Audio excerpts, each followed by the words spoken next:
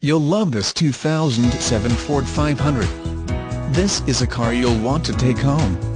With 54,283 miles, it features automatic transmission and an exterior color of gray. Call us and be the first to open the car door today.